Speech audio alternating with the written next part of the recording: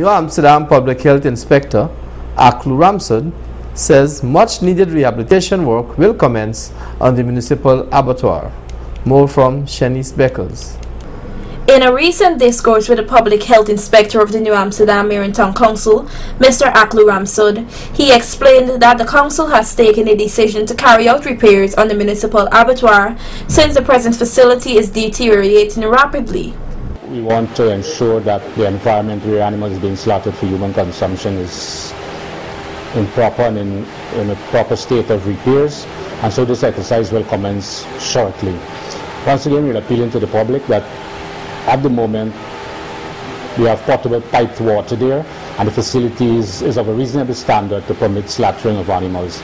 For the festive season, we know a large amount of animals will be slaughtered, and so we're expecting persons to utilize the facility there. Inspection is usually being carried out by the department, and the carcasses are being marked appropriately as fit for human consumption. Mr. Ramsud urged the consumers. Consumers are asked to look out for carcasses, especially when purchasing meat in the municipal market, to ensure that they're being stamped, approved, and fit for human consumption.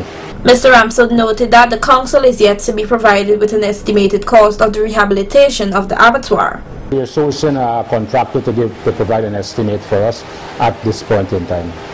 When asked about the abattoir being officially opened, he said, The year is coming to an end, so maybe by shortly into the next year, 2017.